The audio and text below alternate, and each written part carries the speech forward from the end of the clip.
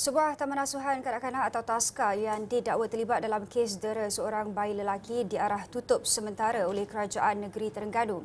Tindakan tegas itu diambil memandangkan Kerajaan Negeri memandang serius isu berkenaan dan tidak akan berkompromi dengan mana-mana pihak yang terlibat.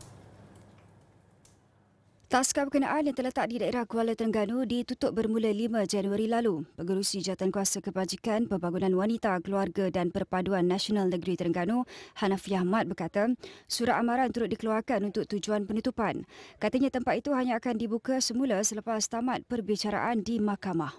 Selepas pada kejadian tu, kita arahkan kepada tuan punya taska tu tutup sementara.